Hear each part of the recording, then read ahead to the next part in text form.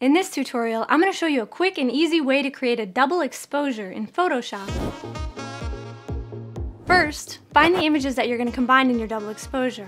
I got mine from Unsplash, and I left the links in the description below. With your document open, go ahead and drag the first image in. Hold down Alt or Option as you scale your image up and place it roundabout where you think it looks good. Come over on your toolbar to your selection tool, or you can just hit W, and then come up here to the top where it says select subject and click that guy. And that's just gonna select the subjects in this case perfectly, which is great. So all we have to do now is come down here and create a new layer mask. And we're just gonna refine it a bit because I see that there are some imperfections and we don't want those. We want this to be nice and smooth and not edgy like this. So if you just come over to your layer mask and double click it, it'll take us to the refinement options. And here, if we just smooth it out a bit, I'm gonna bring my smoothness to like 10. And you can see that that really did a good job at smoothing it, but there's still somewhat of a feather here, and we don't want that. We want it to be kind of sharp. Come over to contrast, bring that up to nine is actually pretty good, okay?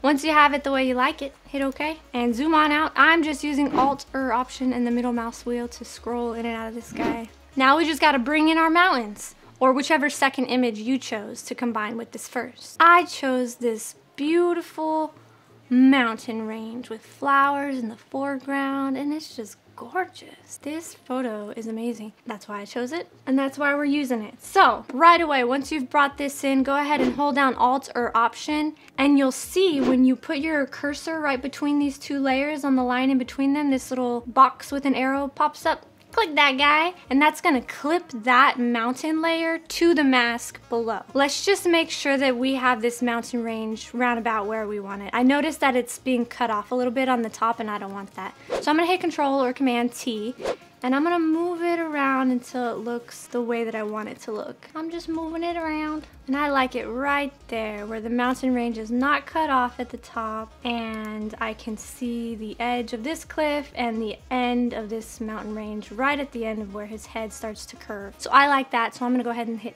enter, set this layer, this mountain range layer, to screen. And you can already see that we have this really cool double exposure effect, just like that. So now, this is just my preference. I'm gonna go ahead and mask out the front of this guy's face because I wanna see it just a little bit. He's a handsome guy. We don't wanna hide that lovely face. So with that mountain layer selected again, come down to create new layer mask. And go ahead and use your brush tool with a hardness of zero, nice and soft. Just paint out the bits of the face that you want to see. Make sure the brush is set to black so that it paints black on that mask. And we could call it done right here, but I actually want to bring in some birds. I really like birds. Oh, and you know what? Also, I just noticed, and you guys might have this happen too, there's like these little bits of his um, head that you can see coming out on the sides. And so all we have to do to get rid of those is just come down to the layer mask for our subject and paint black on the parts that we don't want to see. Right there, and I noticed this one too, so I'm gonna get rid of that.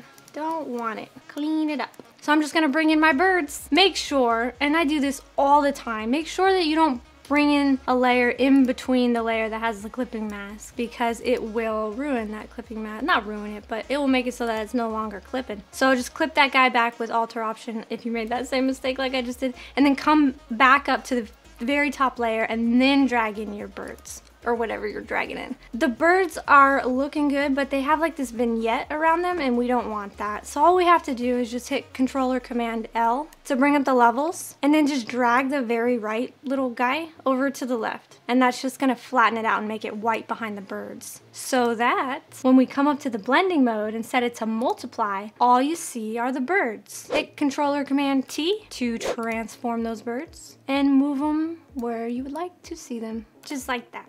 And there you have it. Super quick, super easy, super awesome double exposure. Thanks so much for watching. Follow along for more and feel free to reach out in the comments if you have any questions. Until next time.